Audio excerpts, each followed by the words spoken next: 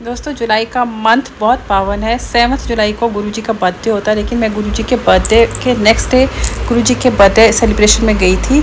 आ, कोई मुझे ले गया था बहुत प्यार से और अब ये पूरा जुलाई का महीना जो है ये गुरुजी का बर्थडे ही सेलिब्रेट होता है।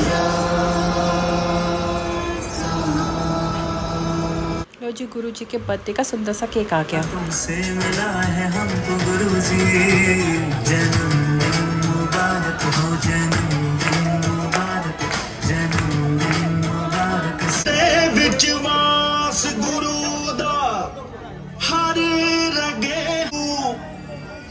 जिस जिसने भी दर पलड़ा बिछाया खैर गुरु ने पाई। हाँ जी। क्या बात है बेटा जी क्या बात है? क्या बात है? अंदर आना अब जेल ऐसे लग रहा है, टुक टुक, ऐसे लग रहा है, टुक टुक, जेल के बाहर खड़ी है। देखना सुसु करने की जगह टुक टुक। कोई भी घर के बाहर सुसु नहीं करता। अच्छा वाला डॉगी जो होता है ना, कभी घर के बाहर सुसु नहीं करता। डॉगी होता है ना, वो घर के बाहर सुसु करता है। अपने घर के बाहर कोई सुसु नहीं करता, सिवाय टुक टुक के गंदा बच्चा। कहते हैं माइंडफुलनेस बहुत ज़्यादा ज़रूरी है। कोई भी काम को करो तो एक ही काम को करना चाहिए, लेकिन हमारे दिमाग में सौ बातें चलती हैं। इसी तरह से मैं राइस बॉईल करने को रख गई और कुछ और काम करने लगी, जिससे कि सारा पानी फैल गया। तो मेरे को रेसिपी बनानी है। एक तो मैंने कहा, उससे पहले मैं बर्नर को अच्छे से साफ़ कर लूँ। Hey guys welcome back to my channel उम्मीद करती हूँ आप सब लोग हैप्पी हेल्दी और फिट होंगे और मैं भी एकदम बढ़िया से हूँ। दोस्तों रेनी सीज़न है और इतना चिपचिपा मौसम है ना, बारिश अच्छे से नहीं हो रही है।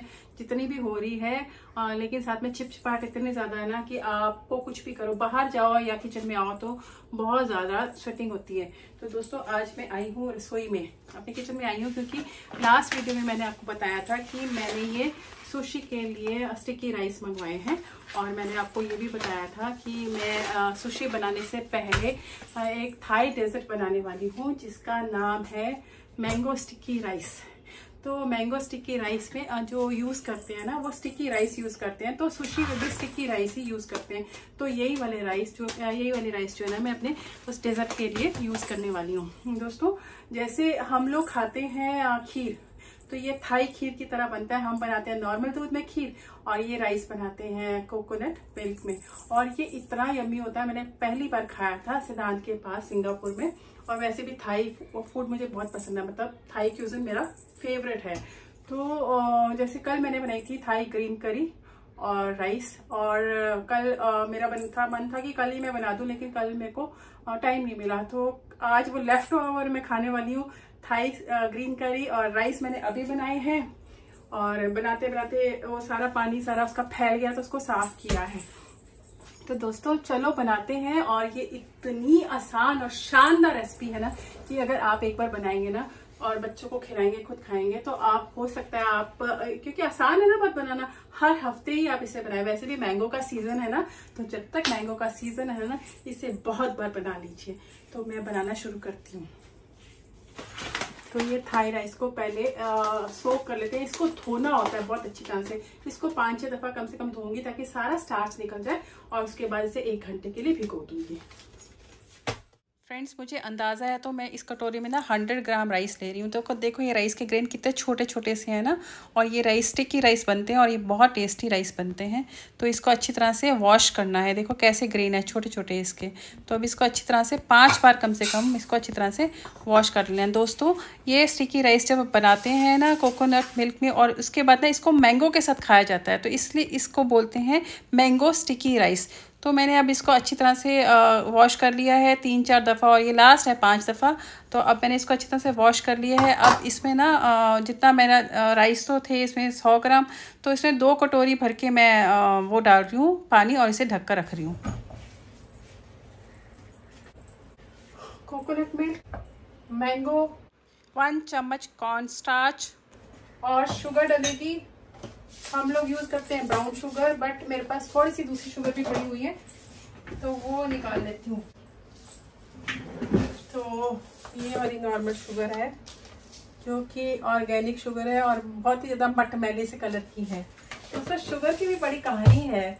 कि पहले हम लोगों को राशन पे शुगर मिलती थी, जो कि कोटा होता था गवर्नमेंट की तरफ़ से तो हर फैमिली मेंबर का अलग अलग मतलब उनका बना हुआ था कितने कितनी कितनी शुगर मिलनी है। तो वो शुगर लेके आते थे, फिर हम लोगों को शुगर कम हो जाती थी तो मार्केट से लेते थे तो मेरी मदर इन लोग कहती थी कि ब्लैक से शुगर महँगी मिली है। तो इस तरह से वो शुगर का मतलब इस तरह से शुगर जब हम मार्केट से खरीदते थे ना तो कई बार शुगर आती थी, बहुत ज़्यादा वाइट फिर मैंने देखा कि शुगर आती क्रिस्टल वाइट बड़े बड़े दाने। तो पहले वो मुझे लगता था कि राशन की शुगर ना इतनी व्हाइट क्यों नहीं होती? बड़ी मटमैली सी होती थी, पर वो ऑर्गेनिक शुगर होती थी। उसके बाद करते करते हमने क्रिस्टल व्हाइट शुगर लेने शुरू कर दी, जो कि बहुत ही ज़्यादा हार्मफुल है वो केमिकल प्रोसेस से ज़्यादा गुजरी होती है। तो अब वो शुगर हम लोग काफ़ी टाइम तक लेते रहे, अब हार के फिर हम वो मट मटमैली वाली शुगर पे आ गए या ब्राउन शुगर पे आ गए, जो कि हेल्थ के लिए अच्छी है। ये ऑर्गेनिक शुगर है, क्योंकि ये केमिकल प्रोसेस से नहीं गुजरी हुई। तो हम यही वाली शुगर यूज़ करेंगे। तो मैं बनाती जाती हूँ, आप देखते जाओ। इसको हम रख देते हैं साइड पे। ये पैन हमने रख दिया है। और ये जो हंड्रेड ग्राम राइस है ना, आधी कटोरी से ज़्यादा जो राइस थे, और ये दो कटोरी भर के पानी डाला हुआ है इसको। और इसको डाल देते हैं इसको, और इसको हल्की आग पे हम इसको बॉईल करने के लिए रख देंगे। और इसको ढक देते हैं। और गैस कर देते हैं सिम पे। अब ये उबलती रहती है और इन बिटवीन हमको कुछ भी नहीं करना है। हम इसके बॉयल हो जाने का पहले इंतज़ार करते हैं।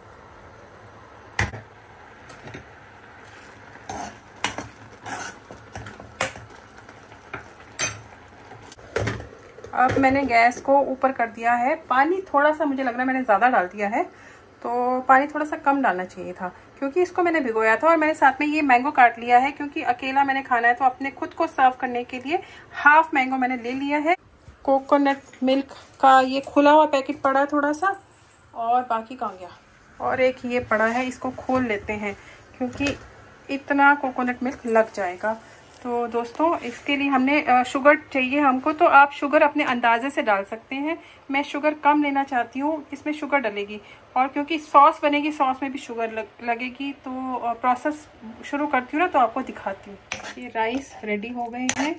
और अब मैंने गैस बंद कर दी है। और इसको ना ढक कर रख देती हूँ। तो दस मिनट तक ऐसे ढक के रख रहने देते हैं। थोड़ा सा जो है बिल्कुल सूख जाएँगे थोड़ा स्टिकी हो जाएँगे ज़्यादा। दोस्तों राइस तो मेरे डन हो चुके हैं। मैं अब इसको ट्रांसफ़र कर लेती हूँ एक बोल में, क्योंकि इसी पैन को मैं दोबारा यूज़ करने वाली हूँ।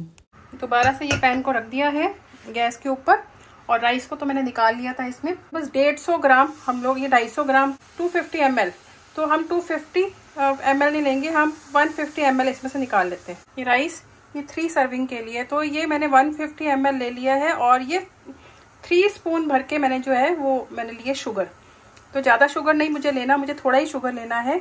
और इसके अलावा इसमें जाएगा एक पिंच सॉल्ट अब इसको अच्छी तरह से मिक्स कर लेते हैं। थोड़ा सा ही इसको गर्म करेंगे तो इसको बॉईल आ जाता है। अब इसमें सारे स्टिकी राइस जो है ना, इसमें डाल देते हैं और इसको अच्छी तरह से मिक्स कर देते हैं और थोड़ी देर इसको पकने देते हैं ताकि इसका जो मिल्क है ना, वो थोड़ा सा सूख जाए और स्टिकी लगे थोड़ा सा चावल।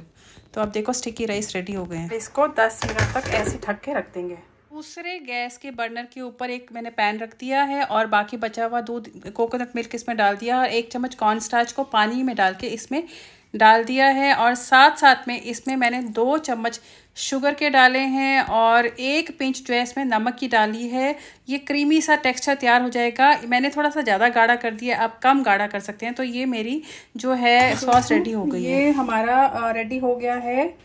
ये वाला आ, ये sticky rice with coconut milk तो अब हमको सर्व करना है तो हम इसको सर्व कर लेते हैं। हम सबसे पहले उठाएँगे ये प्लेट तो प्लेट को हमने ये रख दिया है। उसके बाद खुद अपनी शक्ल देख लेंगे और उसके बाद हम ये स्टिकी राइस को इसमें डालेंगे।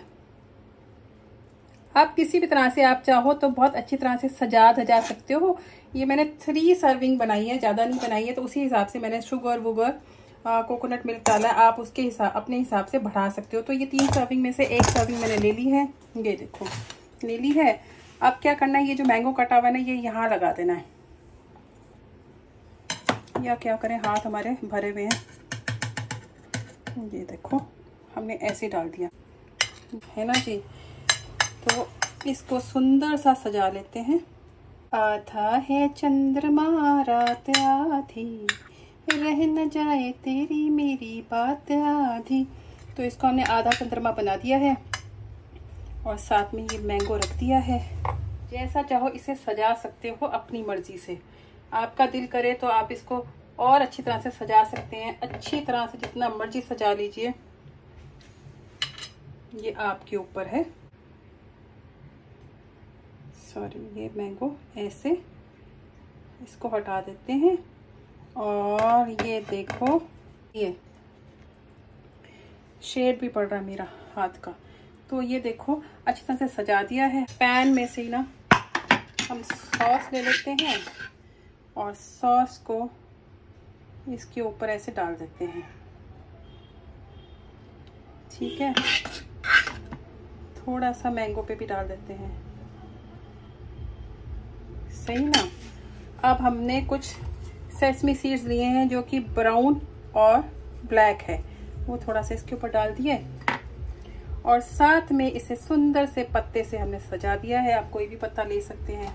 हमारे पास तो ऑर्गेनो पत्ते थे तो ये लो ये हमारी होगी है प्लेटिंग डन। अब कैसी लगी?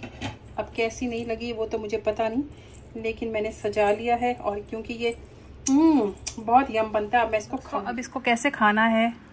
हमने तो पहले से मैंगो डाल दिया है इसके ऊपर तो हम इसको ऐसे ले लेंगे। और हम्म। आँखें मेरी पहले से बंद होगी, क्योंकि ये बहुत टेस्टी होता है। मतलब अगर मैंने इसको डाल दिया है प्लेट में तो अभी डिनर करना है, लेकिन डिनर से पहले डिज़र्ट हो रहा है। हम्म। आपको भी खाना है? आपको खाना खाना खिलाती हूँ आपको भी। तो दोस्तों, सच कह रही हूँ इतना यम है ना, ये वाला मैंगो थोड़ा सा कच्चा है और ये वाला मैंगो थोड़ा सा ज़्यादा राइट है। तो इसके साथ ना, और ये सॉस के साथ मिला के इतना मज़ा आ रहा है खाने में। आहा।